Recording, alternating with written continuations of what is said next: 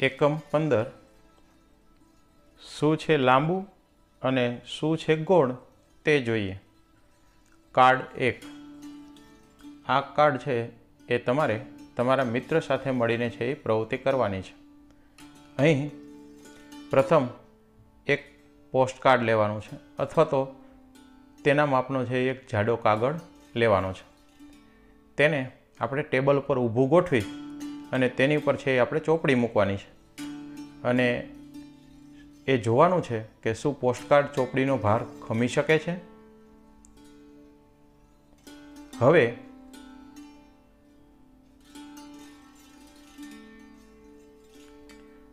આ પોસ્ટકાર્ડને છે પાઇપની જેમ વાળી અને નળાકાર બનાવવાનો છે.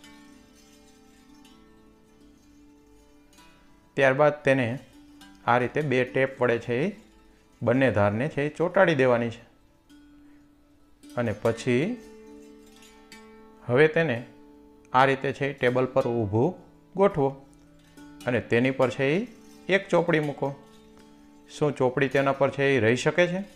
તેનો ભાર ઉપાડી શકે છે? હવે વધારે ચોપડી મૂકતા જાઓ. એકની ઉપર એક ચોપડી મૂકતા જાઓ. હવે જુઓ કે પોસ્ટકાર્ડ વધુમાં વધુ છે એ કેટલી ચોપડીનો ભાર ખમી શકે છે? તો આના ઉપરથી આપણે શું કહી શકીએ? કે ખાલી પોસ્ટકાર્ડને વાળીને રાખતા તે પોસ્ટકાર્ડ છે એ તેની મજબૂતાઈમાં વધારો થાય છે કે ઘટાડો? તો આ પ્રવૃત્તિ તમે જાતે કરી જુઓ.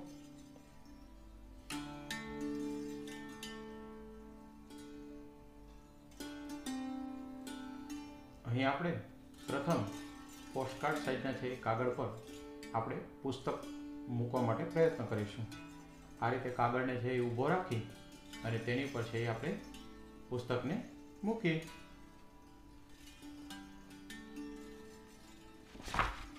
પુસ્તકને મૂકતા શું થાય છે? પુસ્તકને મૂકતા છે એ કાગળ ઉપર છે એ કાગળ દબાઈ જાય છે. હવે આ પ્રવૃત્તિને આગળ જોઈએ. હવે આ કાગળને છે, આ રીતે છે, ગોળ છે ભૂંગળું વાળી અને છે, આ રીતે બે ટેપ લગાવી દો. હવે છે તેને ઊભો રાખો અને તેની ઉપર છે એ પુસ્તક મૂકો. શું થાય છે? જુઓ જોઈએ. તેની ઉપર એક પછી એક પુસ્તકો મૂકો.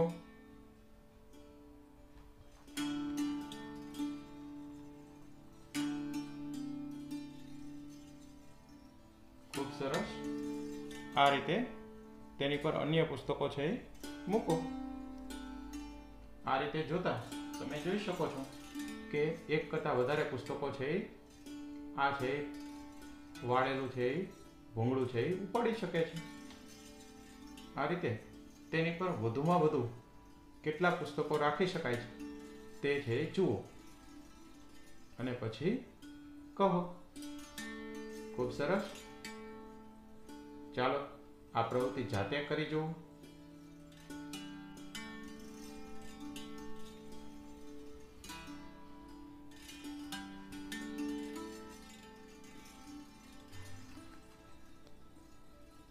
તો આ પાઇપ એ હતો ને, તેવો ને તેવો છે. તેમાં કોઈ ફેર પડેલ નથી. પરંતુ આપણે જોઈએ છીએ કે સીધા કાગળ કરતા પાઇપને છે જેમ પાડી અને છે ભૂંગળું બનાવતા છે તેની તાકાતમાં છે વધારો થાય છે. ખૂબ સરસ. એકમ પંદરમાં કાર્ડ બે જોઈએ. શું ગબડે? શું સરકે? અહીં એક ચિત્ર આપેલું છે. તે ધ્યાનથી જુઓ. અહીં બગીચામાં કેટલાક બાળકો છે, વસ્તુને ગબડાવે છે અને કેટલાક બાળકો સરકાવે છે. તે ચિત્રમાં ધ્યાનથી જુઓ. અહીં બાળક છે એ લસરપટ્ટી ઉપર, ઉપરથી નીચે સરકે છે. જ્યારે આ બાળક છે એ આ ખોખાને છે એ દોરી વડે ખેંચી અને સરકાવે છે. આ બાળક પાઇપ ઉપર, ઉપરથી નીચે સરકે છે. અને આ બાળક છે એ જમીન ઉપર છે એ સરકે છે. પણ આ બાળકને જુઓ. આ બાળક પોતાના હાથમાંથી ગોળ દડા જેવી વસ્તુને છે એ જમીન ઉપર છે એ ગબડાવે છે.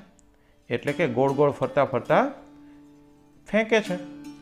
તો આ ગબડાવે અને આ છે એ સરકાવે છે. આ બાળક પણ સરકે છે. આ બાળક પણ સરકે છે.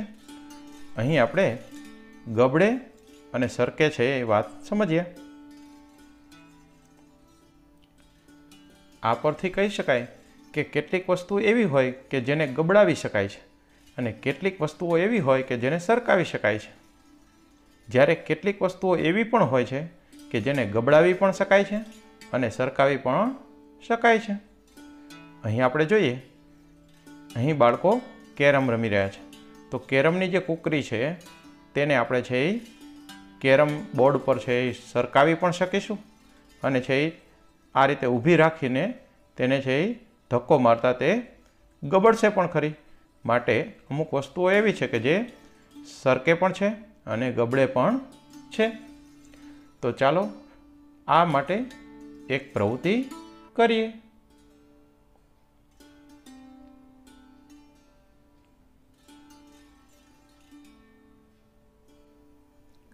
આ કાર્ડને પૂરેપૂરું ધ્યાનથી જોઈ લો.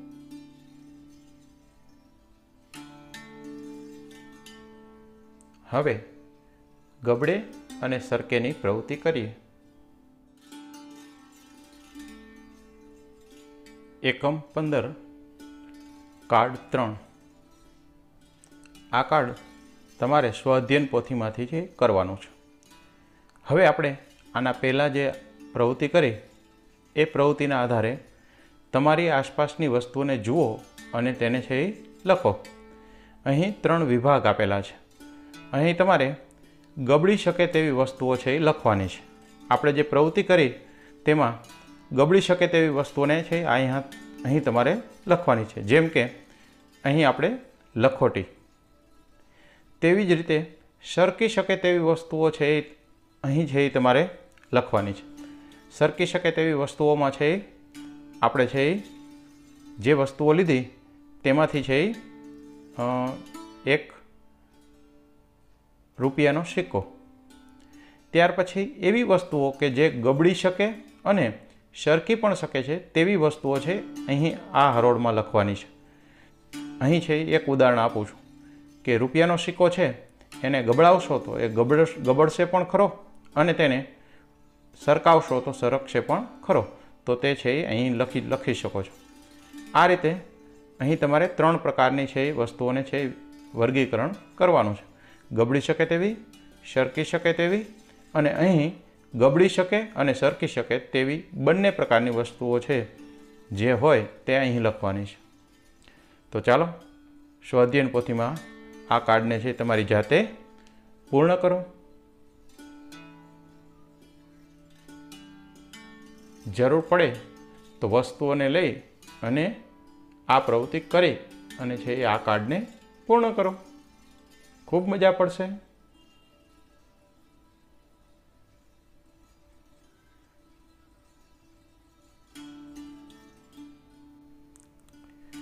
એકમ પંદરમાં કાર્ડ ચાર જોઈએ. આ કાર્ડ સહપાઠી જૂથનું હોય, આ પ્રવૃત્તિ તમારા મિત્ર સાથે મળીને કરવાની છે. અહીં સિક્કાની રમત આપી છે. પહેલાં સિક્કાને છે આ રીતે ઊભો પકડો. અને ત્યાર પછી બાજુમાંથી છે તેને એ આંગળી વડે છે એ ગોળ ગોળ ફેરવો. સિક્કાને ગોળ ફેરવો. શું સિક્કો છે એ દડા જેવો દેખાય છે? તે જુઓ. ખૂબ મજા પડશે.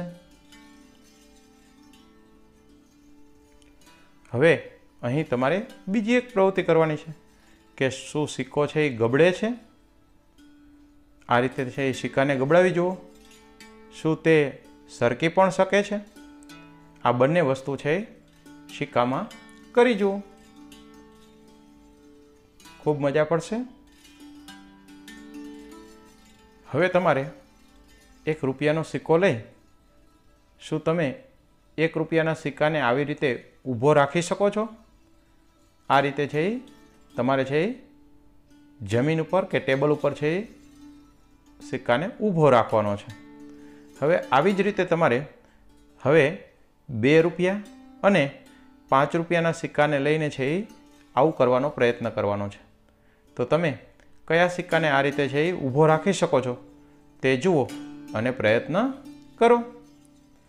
આ પ્રવૃત્તિ કરવાની ખૂબ મજા પડશે. તમે છે એ રૂપિયાનો, બે રૂપિયાનો અને પાંચ રૂપિયાનો સિક્કો લઈ આ પ્રવૃત્તિ કરી જુઓ.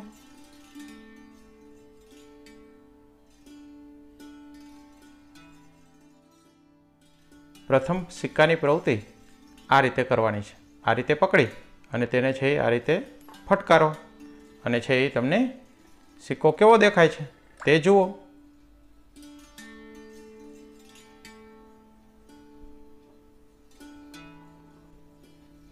ફરી પાછો પ્રયત્ન કરો.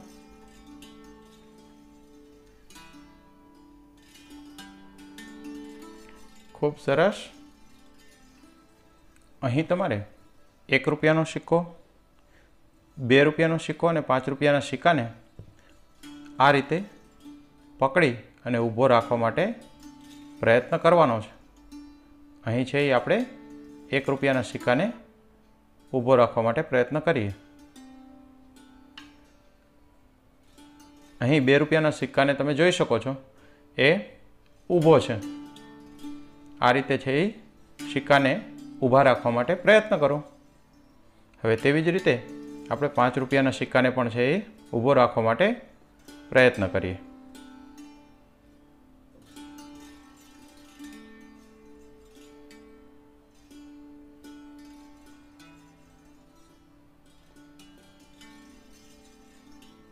કયો સિક્કો ઊભો રહે છે અને કયો સિક્કો ઊભો નથી રહેતો એ પ્રયત્ન કરી અને કહો.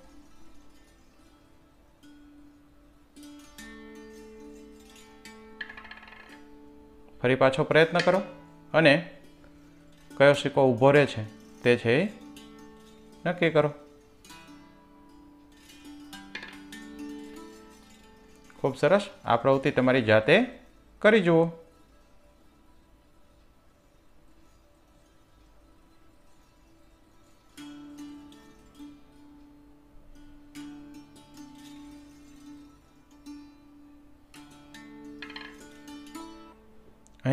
પાંચ રૂપિયાના સિક્કામાં આથી થોડી જાડાઈનો છે એક સિક્કો આવે છે. તે લઈને પણ તમે છે એ પ્રયત્ન કરી જુઓ. ખૂબ સરસ. આ પ્રવૃત્તિ કરવાની તમને મજા પડશે.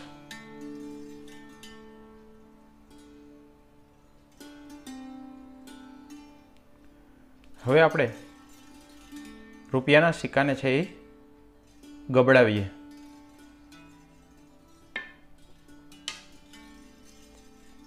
ગબડે છે ને? ખૂબ સરસ. આ રીતે રૂપિયાના સિક્કાને તમે પણ ગબડાવી જુઓ. હવે આ સિક્કાને છે આપણે સરકાવીએ. આ સિક્કાને આ રીતે અહીંથી છે એ આંગળી વડે એ તમે જુઓ છો કે સિક્કો છે એ સરકે છે.